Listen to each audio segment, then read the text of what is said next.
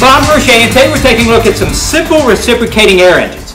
Now these pieces are fairly easy to build. They demonstrate the idea of changing a reciprocating or back and forth movement into a rotary motion. Uh, they are human powered, or in this case they're actually lung powered. It's as simple as breathing out and breathing in.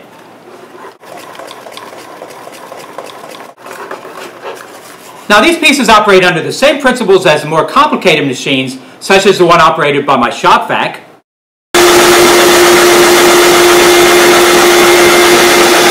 or my engine which is hand powered.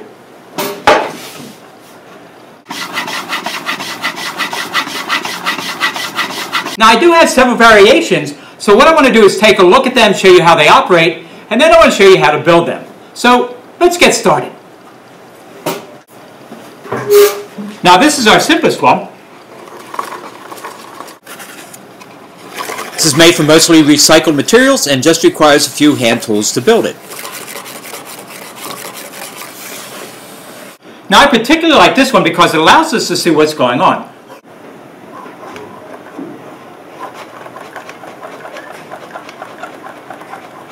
The cylinder for this one was made out of a fluorescent light tube plastic cover and it had a cap on the end which made a very nice mouthpiece. Now here's my smallest version.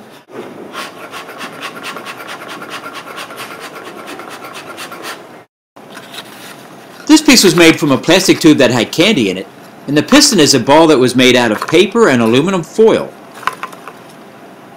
Now finally, here's the biggest version I have.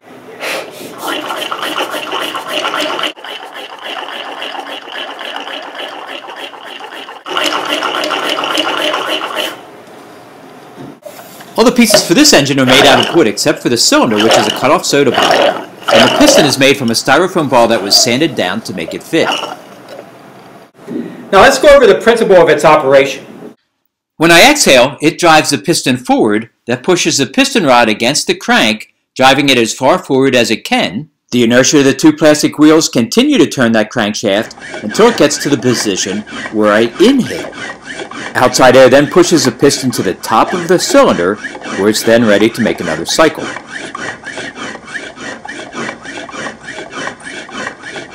Now let's see how to build one. Our piston sewer in this case is made out of a toilet paper tube, but we could also cut one out of a paper towel tube. If you look around you can find all sorts of tubes that would work for this, even small soda bottles. In fact, we can even make one out of a heavy stock piece of paper. We find a small tube that's the appropriate size, cut out a piece of paper, start rolling it, put a little bit of glue on it. There we go. Now we continue rolling that up. And I'm going to put a couple rubber bands on there to keep it in shape until that glue dries.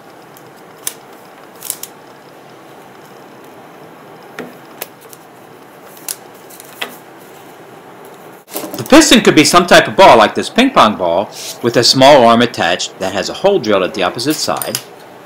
It could be a popsicle stick. We could even use a straw. For this motor I'm going to make a piston. Now let me get this out of the way. I'm going to start with one piece of paper and I'm going to roll it up into a small round paper ball. Get it as round as I can. I'm then going to cover it with a couple sheets of aluminum foil. Once again rolling it, trying to get it as round as I can and shape it until it fits that tube. After we're satisfied with the shape, our next step is to glue that ball onto the piston rod.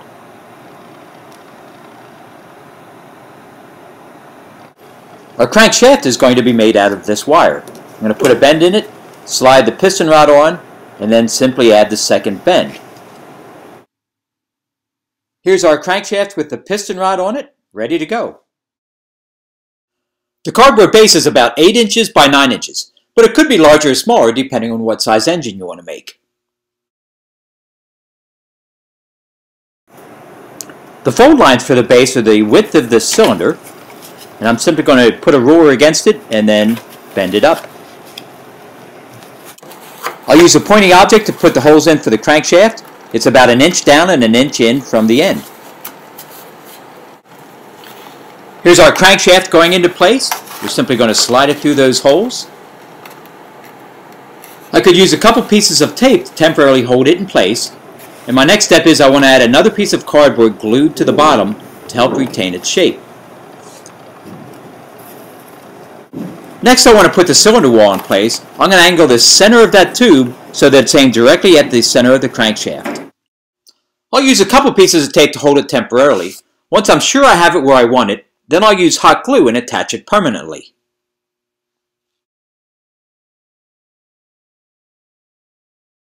My flywheels are CDs that have cardboard glued to either side, and I'm simply going to use something to poke a small hole through the center of the CDs. I'm going to start with two small pieces of cardboard in between the base and the CDs. That's going to keep them from rubbing. There we are. I'll put a CD on, move the crankshaft over just a little, and I want to bend that so that it lays flat against the CD cardboard. I'll add the second wheel, making sure that that crank is centered, and then my final step is to use hot glue and anchor that wire to the CD cardboard. When I turn the flywheel, that piston should move very smoothly up and down inside that cylinder wall. Now let's look at it from the other end, and there we can see it from this side. Alright, we have it all finished. Let's give it a try. That works pretty good.